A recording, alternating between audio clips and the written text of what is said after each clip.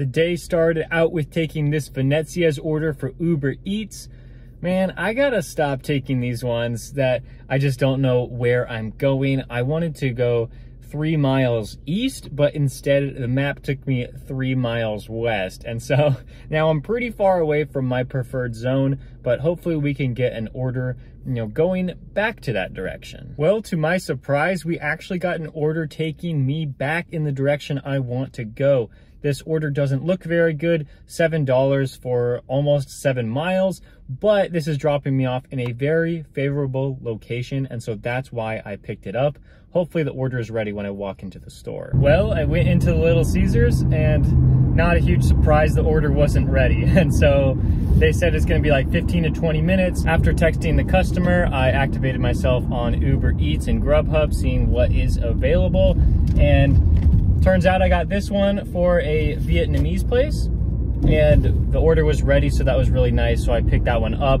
I still have the DoorDash order because I do believe I can get back there in about 20 minutes. And so I'm just gonna give Little Caesars a little bit time to uh, make the order. And I got a note from the customer on Uber Eats saying that a cash tip will be taped onto the door. Hopefully that's the case and they didn't just leave that in the order notes from like the previous order. So we're about to go find out. There was no cash tip when I got to the door. Very interesting development in this Little Caesars delivery.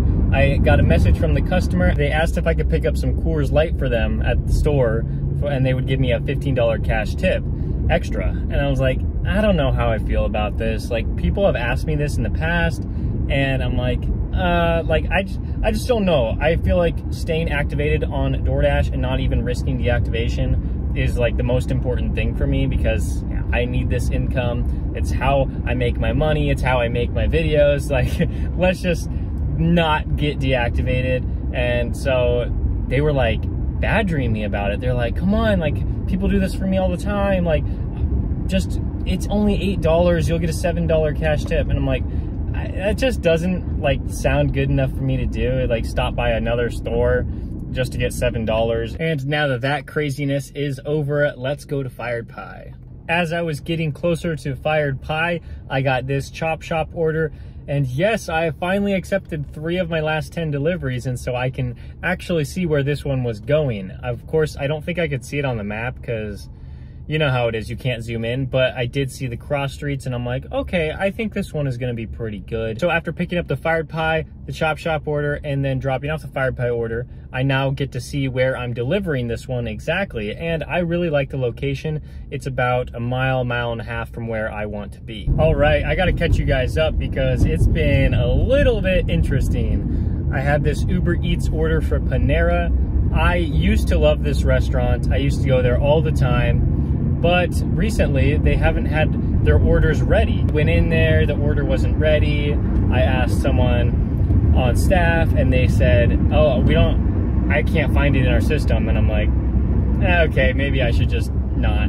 and then I got a, uh, I turned on DoorDash and Grubhub, see what I can get there. DoorDash gave me this offer for $13.50. I thought, it's not like the best considering there's like $1 peak pay on right now and so there might not have been a hidden tip. And I was like, eh, whatever, but it's under four miles, so I, I should probably take it.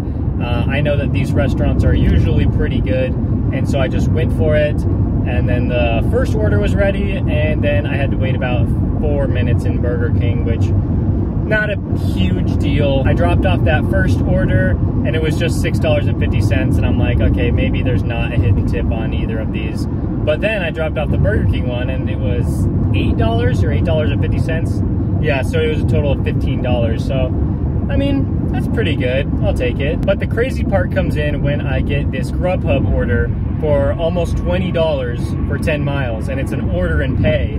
And then I'm like, oh, well, I don't want to accept this unless I can get an order that's going in that direction of the restaurant. So I get this DoorDash order for $15 for like eight, nine miles. And I'm thinking, wait a minute, that's only like two miles from the restaurant. I think I can do this. So I accepted both of them. And now I picked up the DoorDash order and I am currently on the way to drop this one off. But before that, I had placed the order over the phone for the Grubhub customer and they said it would be about 20 to 30 minutes. So I'm probably gonna lean on like the 30 minute side, but I should be to that restaurant within 25 minutes of placing it. I think it'll take me probably about 45 minutes to do both of these orders. And so $19 plus $15, I'd say that's pretty good. $35 for this, $17 for that DoorDash order. Pretty excited about that. And now when I start the navigation to the Grubhub restaurant, I'm only two and a half miles away, should get there in five minutes. And so yeah, I'm going to get there uh, by the time I place the order, it will be like 23 minutes after I placed it to the time that I get to the restaurant. Now getting pretty deep into the lunch shift, I wanted to make sure that I could accept just basically anything that was decent. I got this one for Walgreens and Pei Wei. I was really, really hoping I would only have like one or two items in the Walgreens order since it was six items total. Turns out five of them are for Walgreens and but I already shopped for them. It didn't take too long. It wasn't horrible to do that. Like, I mean, I'm getting paid $8 for the Walgreens order, maybe a little bit more. I guess we'll just have to see. And then the Pei Wei order was ready when I walked in there. So that one was pretty easy. Only like $5 for that Pei Wei order. After that stacked order, I got this wildflower order for DoorDash. Nothing too special about it other than they didn't tip very well, and so most of the pay was base pay. Now I am at Walmart because I got this one, $22 for about six miles. Sure, I'll take it. Walmart has been pretty good to me lately, and so I will stick with that. And hey, it's like almost three o'clock right now, and so I don't think I'm gonna get anything too special. And so to get a $22 payout, It'll probably take me not more than like 30, 40 minutes. I've been waiting at this Walmart for 20 minutes now, and I have no idea when they're gonna come out with my items. I have both orders in my car, and it should only take about 20 minutes to finish off this delivery. The smaller of the two orders actually ended up being a bigger tip the first tip was $7, second tip was $4. I think it's really nice when these customers tip. I don't know how they can tip through Walmart, but it's nice to see them. And then after getting some gas, and yes, it was expensive, $61, I am now off to Corleone's to take this $9.25 order going 5.9 miles. Not a big fan of the mileage, but I was driving back to the hotspot anyway. Yeah, got a nice $10 tip there for $13 for that one order, and now I'm off to McDonald's. That McDonald's order was not the best because it was going to a very confusing apartment complex, but it did drop me off in a very busy area. That busy area gave me a really nice order for sauce pizza. It was over $8 for just 1.5 miles. And then after that, I got this order.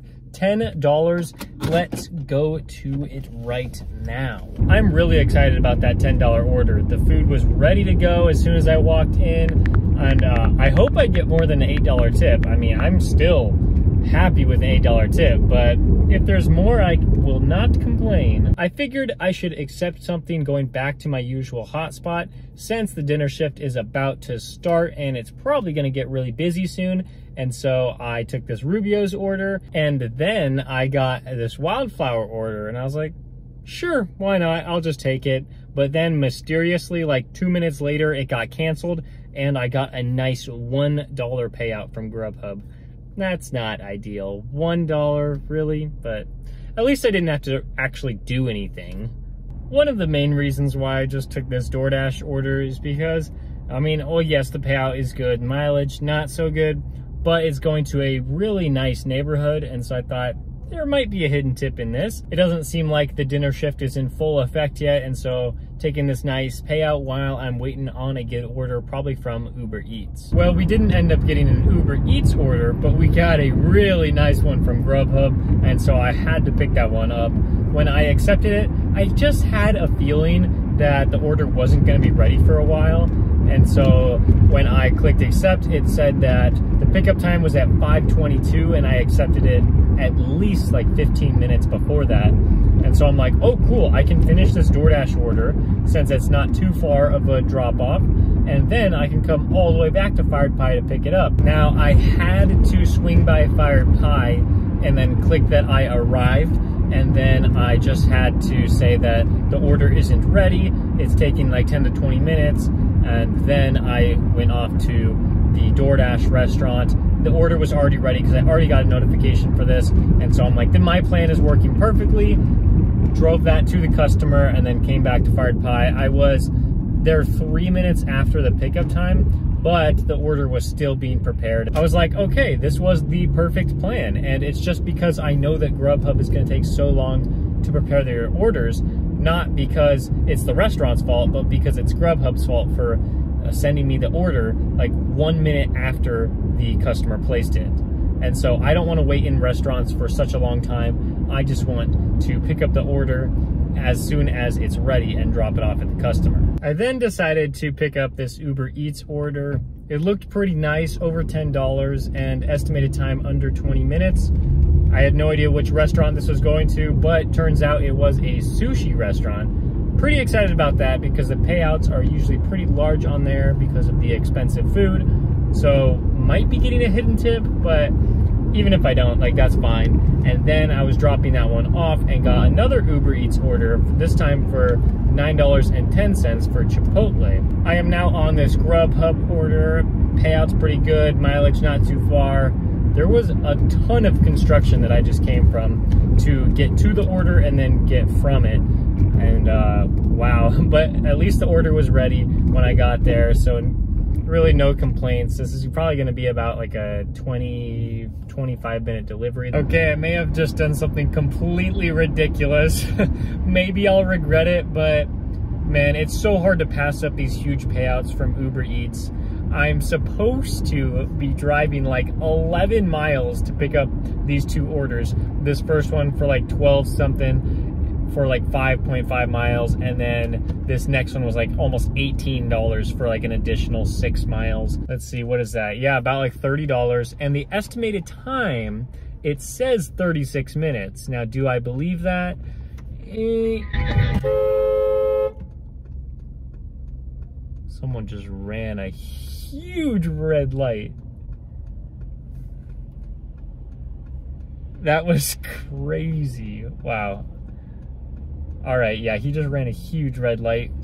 We almost got into a car crash, but it's all right. Good thing I'm paying attention. Whew, that was a little scary. I doubt that both of these orders are going to be ready, but hopefully I don't have to wait too long. Well, I was looking forward to using their restroom, but both of the orders were ready. Okay, so the first one is quoting me only six minutes, 2.3 miles, I think. So that's not bad at all. Hopefully the next delivery can also be in a favorable location. Nice. So that drop off went very smooth. It's to a senior living center. And so when I met the guy, he said, oh, I thought you'd have trouble finding me in here. And so he gave me $2 cash tip. So that's very nice. Uh, honestly, it was not hard to find him at all. It was so easy. This next one, yeah, not so much. So we have to drive 14 minutes.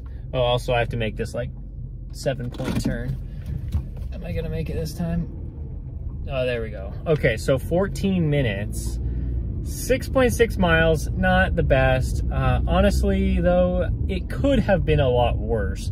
Deliveries finished. Uber Eats told me that I did that delivery in 35 minutes and 54 seconds. And so I was six seconds early to drop that one off. I went into the payment screen and it turns out I got $22 of base pay. I have never never seen something like that. I thought that I would possibly get some hidden tips on these orders, but now it all makes sense to me why the orders are ready at the restaurant. Uh, I just think that they decided not to tip very well, and because they both lived so far away, like they were just having to jack up the price for the delivery so that someone like me could accept it. Now I'm at Cold Stone because I was just trying to drive back into the area with some restaurants and I got this really nice order and it said five miles, but it took me three miles just to get back to any restaurant, possibly a hidden tip here too. I was really excited about this Jade Palace order.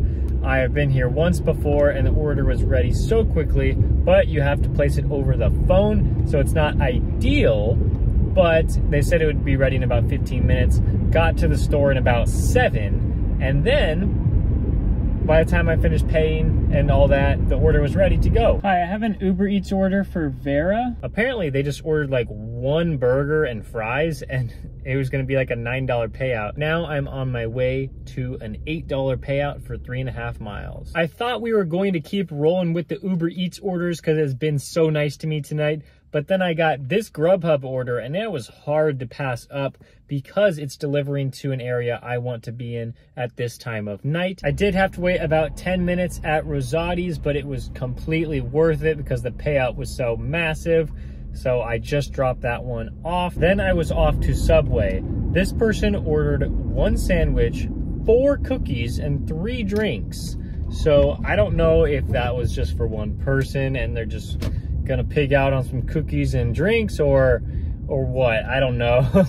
And then after i drop that one off hopefully there's a hidden tip but we'll see. And then came a mcdonald's order which was ready like within a few moments after i got there. Then a chipotle order and that one was pretty cool. It was six dollars and 50 cents. Just those two DoorDash orders were just so quick and I loved those. And that will conclude my crazy day of driving. On Grubhub, we made $88.54 over six orders, seven if you count the canceled order where I got $1. On DoorDash, we made $120.25 over 13 deliveries. A lot of the DoorDash orders came pretty early on in the day, but then at night, I decided to only go with Uber Eats and Grubhub because they had bigger payouts than DoorDash would ever offer. And then on Uber Eats, we did 15 deliveries, $166.17 if you add in the $7 in cash tips. That comes out to a huge total of $374.96